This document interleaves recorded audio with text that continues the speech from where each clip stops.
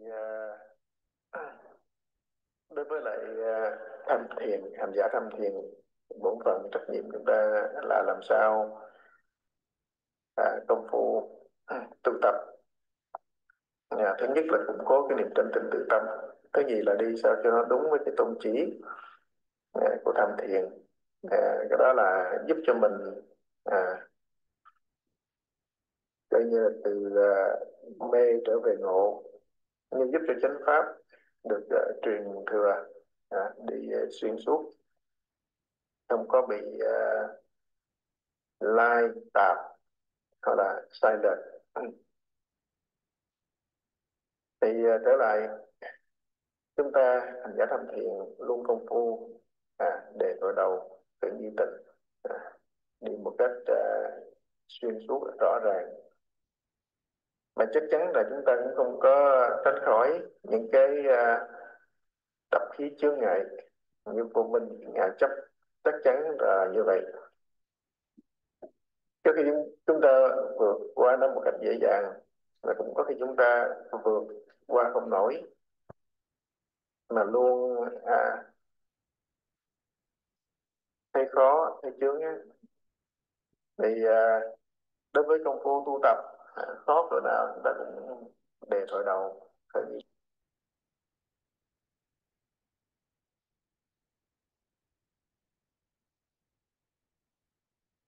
Thì uh, đối với lại ờ, uh, tham thiền hành giả tham thiền bổn phận trách nhiệm chúng ta là làm sao à, công phu tu tập. À, thứ nhất là củng cố cái niềm tin tình tự tâm cái gì là đi sao cho nó đúng với cái tôn chỉ à, của tham thiền. À, cái đó là giúp cho mình à, coi như là từ à, mê trở về ngộ nhưng giúp cho chánh pháp được uh, truyền thừa à, đi uh, xuyên suốt. Không có bị uh, lai tạp hoặc là sai lệch. Thì uh, trở lại chúng ta hành giả tâm thiền luôn công phu à, để tội đầu tự nhiên tịnh à, đi một cách à, xuyên suốt rõ ràng. Mà chắc chắn là chúng ta cũng không có tránh khỏi những cái à, tập khí chướng ngại như vô minh ngã chấp. Chắc chắn là như vậy. Trước khi chúng ta vượt qua nó một cách dễ dàng mà cũng có khi chúng ta vượt qua không nổi mà luôn à, thấy khó thấy chướng á. Thì à, đối với công phu tu tập à, khó cỡ nào chúng ta cũng đề thổi đầu phải nhị tình. Nếu như ngài lai quả nói có khi đề thổi đầu mà giống như là nhấc một cái tảng đá lớn nhấc không nổi lung lay cũng không có nhúc nhích được. Không phải mình à, thôi lui không phải là mình. Không lay đặt lay cho nó. Không vượt qua cũng phải cố gắng vượt qua được. Nhất lên không nổi cũng phải nhất lên làm sao cho nổi. Chứ không có thua không có chịu thua. Để khắc phục và tự chiến thắng được chính mình. Mà cái vấn đề tham thiền chúng ta phải thật câu thoại đầu mà đề không lên. À, đề không lên cũng phải đề. Cho dù phiền não khổ đau cỡ nào chúng ta cũng ờ, phải đề thoại đầu, trở về cái công phu, chứ không có phải là giải quyết cái cái khổ đau phiền não rồi đó, chẳng qua tập khí phiền não, tập khí ngã chấp đã chúng ta điên đảo, làm chúng ta khổ đau. Đó là nói về công phu tại công phu phải trở về công phu. Tại vì cái ờ, phiền não khổ đau nó nhấn chìm mình trong sinh tử từ vô lượng kiếp chúng ta đã phát cái nguyện, dập được chánh pháp phải hành phải hành. Mình phải quý cái pháp á, giống như đức phật nói, thân người khó được phật pháp khó nghe phải quý biết quý trọng.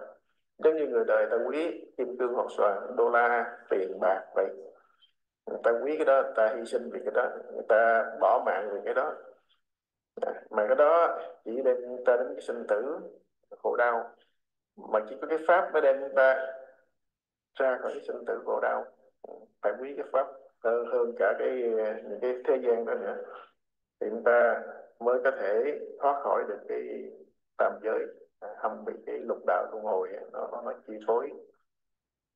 Thì cái à, của chúng ta cũng lại sẽ trở về thực hành. Nó khó cái là phải thực hành. Sinh tử nó đến bên chúng ta cũng phải thực hành. Thực hành làm sao mà trong lúc khỏe thực hành. Lúc bệnh cũng vẫn giữ được cái công phu thực hành cho đến ờ, tứ đại phân kỳ, chết đi nữa cũng phải thực hành. Chứ không có buông xuống cái thực hành. Đó là mình quý ở nơi cái hành, quý ở nơi cái pháp pháp hành đó. À, không có, cho nó mai một, không có đứt đoạn. Thì ờ, một khi chúng ta có cái sự thực hành miên mật và mãnh liệt trên đó rồi đó. Như quyết tử thực hành tham thiền á. À, nói quyết tử không phải là mình mình mình cố mình à, sanh ra một cái tâm như là ghi chặt hay là nắm bắt gì mà đối duyên tiếp cận bất kỳ. Cái khó cái dễ. Cái gì cũng thể làm dao động được cái cái công phu tâm tư của mình. Giống như là cái niềm tin mình đã đã vững đã chắc không ai lay động được cả. Cho dù thiên ma ba tuần ma vương có xuống làm gì được cũng lay động được mình. Nếu có được cái cái ý chí à, với lại cái tâm tha thiết như vậy thì chắc chắn là mình sẽ được thành tựu. Đó gọi là phát một cái tâm dũng mạnh phát cái tâm dũng mạnh không phải là đợi tới cái vấn đề gì á nếu mà mình cứ đợi thì nó không phải mình làm trong lúc chưa có cái gì cũng phải công phu phải làm không phải là trên cái cái lời nói suông, cái phát nguyện suông nữa. Giống như tôi đôn pha, hiệp ngài Phật ấn đó. Thì trao đổi Phật pháp trên kiến giải, tri kiến rất là, lưu lót rất là hay á. À, thi thố lẫn nhau. Nhưng mà không phải đó là cái công phu. Đó chỉ là văn tự chữ nghĩa. Đó chỉ là bóng dáng thôi, hình ảnh thôi. Mà không có được tô để tô tô điểm cái cái hình ảnh bóng dáng đó mà phải trở về chữ chân thật. Bằng sự công phu bằng sự tu tập. Nên một hôm ông chỉ hiểu chứ không phải là có cái sự thực hành đó. Vì cái ý thức nó đánh lừa. Nên ông nghĩ rằng là đối với lại bác phong, thế gian là ông không có bị ảnh hưởng. Thì ông mới nói là bác phong suy bất động. Để khoe về Phật ấn ông là bây giờ đối với cái vấn đề thế gian, đối với cả cái ngọn gió thế gian tám ngọn gió đó không ngọn gió nào để làm lay động được. Tâm một bạn như như ông đã thấu hiểu Phật pháp này nọ nguồn gốc rồi. Biết vô minh biết ngã chấp mà cho nên không có bị lay động bởi tám ngọn gió đó. Thì Phật ấn biết tôi đông Ba à, trên cái tri kiến kiến lập cái tri kiến tự cho là mình. Cho nên sai lầm. Ngay cái đó là cái vô minh ngay đó là cái ngã chấp mà. Trên kiểm thử một cái là chê là thúi thúi địch thúi địch thúi địch. Viết ba chữ thúi địch. Trên cái lá thơ gửi trả ngược lại. Nó ta nổi giận lên liền. Tại nó phải là cái công phu đâu. Nó phải là công phu. Vậy là cái suy nghĩ của mình ngại chấp của mình thì á, tức tốc đi qua bên Phật ấn bên đây núi rồi cái à, Phật ấn thấy biết rồi. Biết ngay này ông nói là bác phong suy bất động mà mới có cái ba cái, cái hơi lệch của tôi rồi mà ông bay qua bên đây ngay đó ông ta hậu ra liền. Hay đúng là mình quá tệ quá dở quá dở. Nên đó, trên cái suy nghĩ nó chưa có phải là cái cái công phu. Cái hiểu biết chưa phải là cái sự tu tập. Hiểu biết chỉ là một cái phần nhỏ thôi. Nên đó, chúng ta không có bị cái tri thức hiểu biết. Mà trên cái sự chúng ta tham học với nhau nó đã học á mình phải à, nhìn ra cái cái bệnh bệnh chung của mình nhìn ra cái bệnh chung của mình. Cái khi nói tại cái bệnh chung của chúng sanh là cái bệnh chấp thật và vô minh. Mà nói về chấp thật và vô minh thì ai cũng thấy mình có bệnh. À, đó nói là luôn luôn thận trọng luôn luôn giữ gìn mình mà giữ gìn cái pháp á chứ không phải giữ gìn cái ngã chấp của mình cái khi nghe mình nghĩ là mình dính mình dính bệnh mình bị la mình bị trách mình bị này mình bị nó cứ mình không mà mà đâu có tránh khỏi cái chuyện đó. Vấn đề tu làm sao tránh khỏi. Nên có khi chúng tôi nói đó có khi à, đụng người này chạm người kia à, người đó cũng xin quan hỷ à, biết đó là bệnh chung.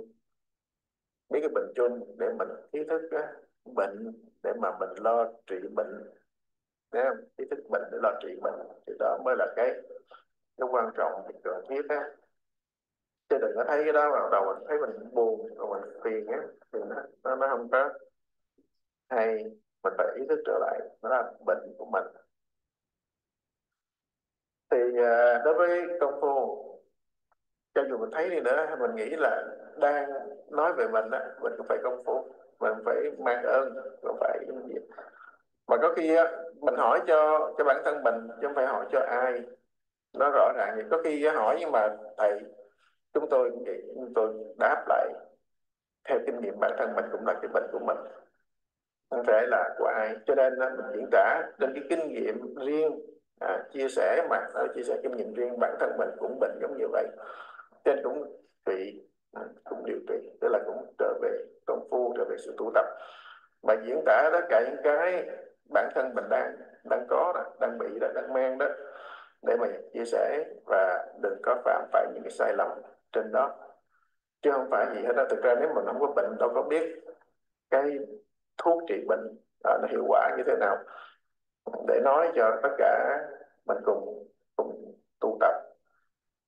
Có khi nói rõ cái bệnh của mình quá người ta nghĩ là nói bệnh người ta xin thông cảm thực ra mình không có muốn soi mối bệnh ai. Mà mình muốn nói cái bệnh của mình. À thì đó là những cái mà tôi muốn ờ, muốn chia sẻ chung đó thật ra cái này nó nó hiểu lầm rất là nhiều à. mình cứ, cứ nghĩ thế này nghĩ như thế nọ thì không phải à. nói rõ ràng trên cái vấn đề cái nhân duyên có những câu hỏi mà mổ sẽ phơi bày và cũng quy về cái gì trở về phải công phu tu tập đừng để bị tất cả những cái bệnh những chướng đó nó nó tiếp tục nó công phá mình thì đó là cái ờ, cái vấn đề chung. Thì bây giờ vì là có những cái thắc mắc gì hay là kinh nghiệm sinh hoạt tu tập à, muốn chia sẻ ừ, để cho cái sinh hoạt của chúng ta trong thiền đường là những ờ, hoàn pháp ở phương tiện xa gần ừ, cũng có thể giúp cho người hành giả thuận duyên trên cái vấn đề tham học tu tập à, và trao đổi à, Phật pháp á, xin cứ trình bày à, nam mô bổn sư thích ca mâu ni phật. Nam mô phật à. kính bạch thầy thì con thành tâm xong thầy đây. À, thì con xin chia sẻ một vài điểm điều. À, ở bên thiền được hoặc là qua bên này mỗi lần nghe pháp của hòa thượng hoặc là thầy ấy, thì con luôn luôn nghĩ rằng là đó là cái tình của con. Để con cố gắng sửa. À, thì cũng từ vô minh và chấp ngã mà ra hết. Cho nên mỗi lần nghe pháp của thầy ấy thì à, con thường nhắc con là à, mình phải trị cái bệnh của mình. À, còn có những cái chướng duyên á. À, có khi á chưa có vượt qua được á. Cho nên nhiều khi ờ, con cũng bị à, nó bị dè dặt ở trong cái đường tâm á, nó khó chịu á. Cho nên nhiều khi à, mình, mình, mình nghĩ thời gian cái tự nhiên mình suy nghĩ lại là mình thấy uh, những cái lời của thầy nói trước đấy nó uh, nó rất là rất là đúng với cái bệnh của mình. Và con không quên là những cái lời của thầy nhất là cái lời mà thầy dạy con là đi đâu cũng phải công phu quá thì nhờ cái đó nó à, nó bỏ qua được những, những cái vấn đề mà mình chỉ còn thì mà mắc kẹt đó à, và con xin trình bày cái công phu của con. À, con cảm thấy là ở thiền đường á thì con thấy nó có cái khuôn khổ và được thầy nhắc nhở hàng ngày cho nên nó nó ít có vọng tưởng hơn. Còn qua bên này mặc dù bây giờ có một cái chỗ tôi cũng à, à, cũng được nhưng mà tại vì chỉ có ba người thôi à, con có thể phật từ với với bà mẹ thôi. À, thỉnh thoảng cũng có những người tới ờ, tới tu. Nhưng mà cái thời gian á mặc dù mình cũng tu đó nhưng mà nó nó không có sự nhắc nhở hàng ngày của của thầy. Mình hay thường chiều theo cái ý thức á, của mình. À, khi á, thì mình thích nghe pháp thì mình vô nghe pháp. Khi á, mình thích công phu thì mình đi ra ngoài mình công phu. Mình thường hay chiều theo cái ý thức. Cho nên mình không có nằm trong cái khuôn khổ à, mình không có cố gắng để mà dẹp cái cái ờ, cái ý thức đó được.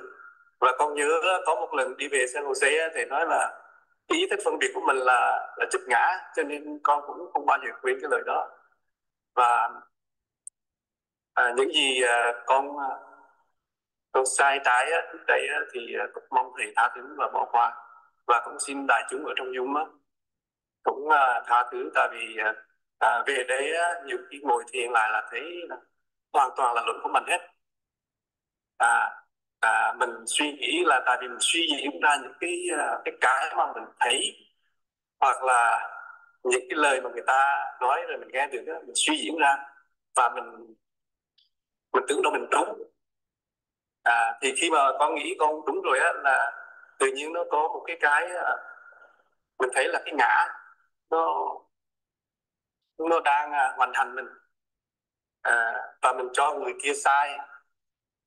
Thì mình cũng nghĩ rằng con cũng thấy rằng là đó là cũng là ngã của mình. Cho nên con thấy à, bây giờ con thấy là cần có đại chúng và cần có thầy ở bên để cho mình nương tựa để mà mà tiếp tục trên con đường Dạ, giải thoát này. Và con cũng à, hàng ngày cũng à, ở đây cũng công phu và cũng à, thường nghĩ đến hướng thiền đường và cũng không quên đại chúng ở trong dung à, con à, rất là à, quý cái à, những cái lời của của thầy dạy và những cái lời chia sẻ của các bà các anh chị và các quý cô quý thầy ở trên dung con rất là rất là thấy hổ thẹn và xấu hổ à, mình bỏ đi mà mình không có nói với thầy à, trước khi mình đi ra đi á. À, tuy nhiên để lại một cái à, một cái lời bằng cái à, text à, mà cảm thấy mình à, kính với thầy. Cho nên con thường hay suy nghĩ về cái điều đó và con cũng chia sẻ với thầy bất từ là à, mình thực sự có lỗi rồi. À, cho nên à, khi mà à, cái chỗ này mà được hoàn thành á là bắt đầu à, tụi con á, nói chuyện với nhau là mình phải quay lại để à, để nương tựa vào thầy và đại chúng. Con à, rất là biết ơn thầy và đại chúng ở từ thiền đường cũng như đại chúng ở trong trong dung xin hết. Thì hôm nay cũng à, là cái cơ duyên á để tập thiện như Phật tử à, bộc bạch thổ lộ cái tâm tư của mình à, cái vấn đề tu tập của mình mình à, có cái cái cảm thông á, và có cái à, quý trên cái pháp thực hành á, thì à, mình mới dám dám coi như là đương đầu để vượt qua tất cả những cái cái khó ừ, những cái sai lầm, những cái vô minh, những cái ngã chấp của mình. Từ đó mình mới tiến lên xa hơn, và từ đó mình mới quý quý trọng hơn cái cái lời của Đức Phật nói, thân người khó được mà Phật pháp khó nghe à, từ đó mình tự nhiên à, mình à, rất là quý. Và những bản thân mình quý mà tất cả thiện tri thức bạn đồng tham của chúng ta cũng quý nữa. À, biết à, Phật pháp vẫn còn tiếp tục tức là chánh pháp á, vẫn tiếp tục lưu truyền và vẫn có người à, thấu được có người gánh vác được hay là chia sẻ được nó quý hơn những cái mà giống như người ta không hiểu á, rồi cái bởi cái vô minh bởi cái ngã chấp á, người ta phỉ bán người ta phủ nhận.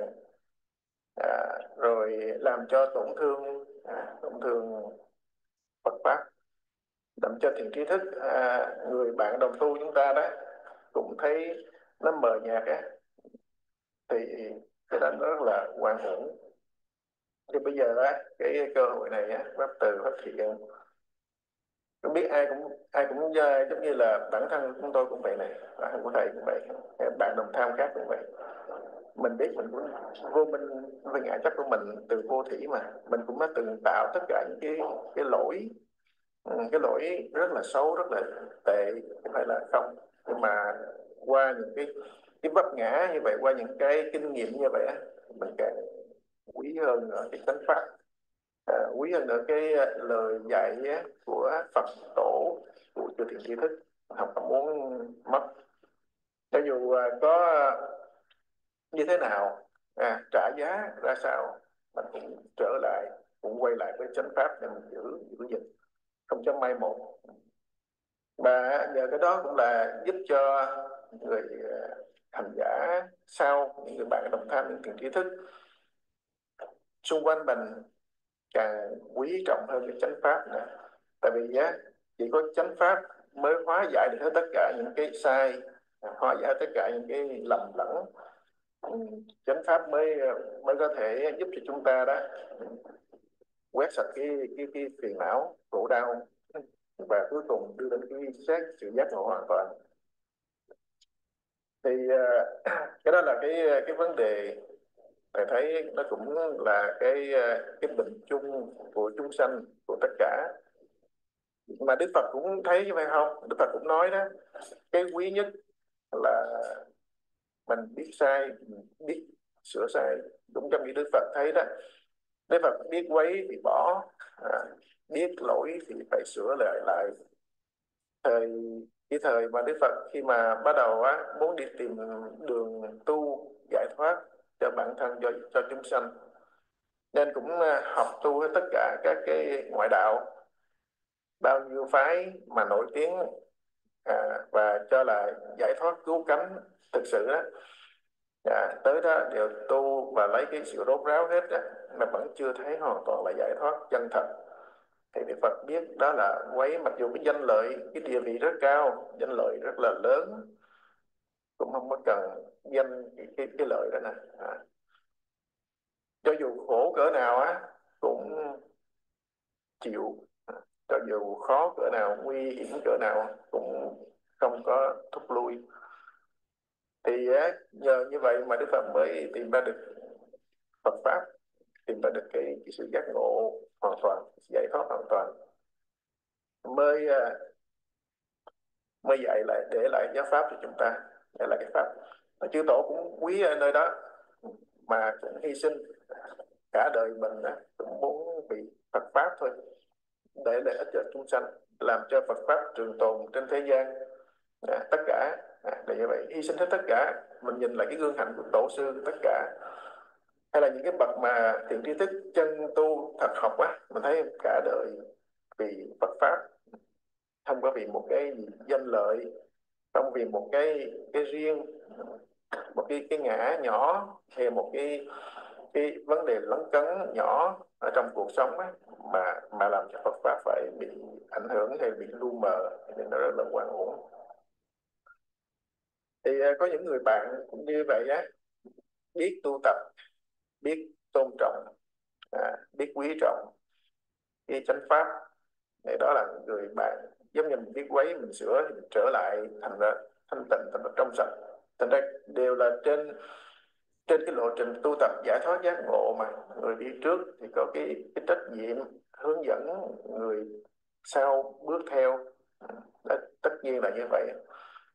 Và mình cũng phải biết Đức Phật đã chỉ thị cho chúng ta cái pháp tu tập. Nhưng mà đối với lại cái cái thời buổi ngày nay đó à, rất là nhiễu nhương rất là khó.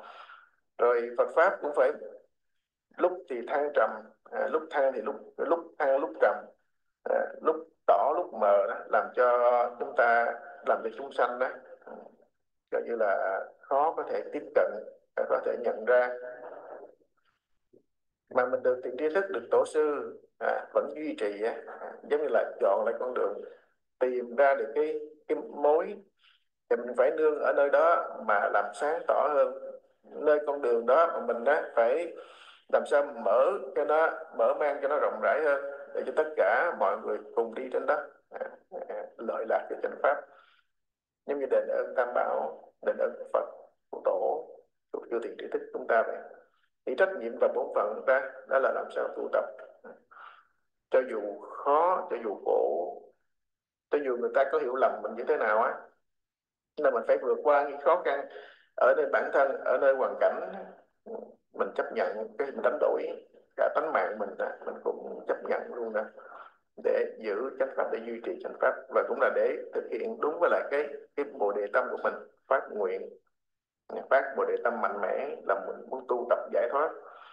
Mình đã bắt đầu vượt qua những cái khó ban đầu rồi nào là danh lợi nào là tài sản nào là gia đình nào là của cải mình đã vượt qua hết rồi à, đã bỏ hết đã bỏ sau lưng hết.